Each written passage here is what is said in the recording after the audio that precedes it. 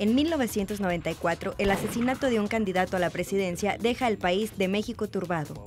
Después de realizar un mitin del Partido Revolucionario Institucional en Tijuana, Luis Donaldo Colosio muere.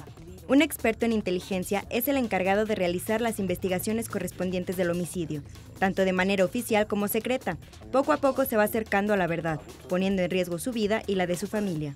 El filme de Carlos Volado se expondrá el domingo 14 de octubre a las 4 de la tarde en el Teatro AMC de Estudios Universal. Para consultar la cartelera completa de la muestra de cine Guadalajara, visitar la página de internet muestradecine.udgla.com.